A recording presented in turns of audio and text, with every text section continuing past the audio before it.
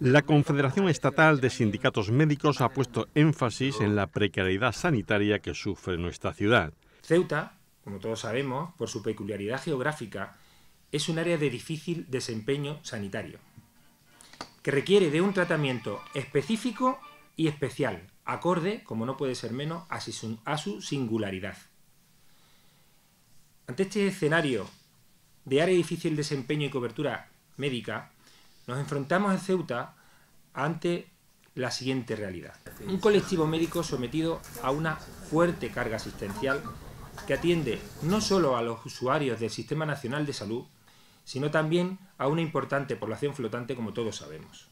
Se sienten engañados por tres ministras diferentes, quienes les prometieron un plan de choque para paliar unas deficiencias que aún siguen sin resolverse. Por eso nosotros pedimos que a Ceuta se le declare como, o sea, se le haga una zona de difícil, de difícil cobertura y que haya una discriminación positiva respecto al resto de médicos de España. En España se está con un sistema sanitario muy bueno, entre los mejores del mundo, en eso no hay duda, pero que está en una situación de riesgo por un déficit de financiación y por unas condiciones laborales precarias que nos ponen en muy mala situación respecto a los países de nuestro entorno, con lo cual es una llamada a los médicos para que vayan a lugares donde se les considera mucho mejor y claro, una zona como Ceuta o como puede ser también en Melilla son zonas Mm, poco atractivas desde el punto de vista profesional si no se mejoran las condiciones que se ejercen en estas dos ciudades. Y reconocen que los planes de choque prometidos no se han cumplido, como tampoco la discriminación positiva para Ceuta en este ámbito que también reclaman. Es que aquí nos las vemos y nos las deseamos para que los médicos quieran venir.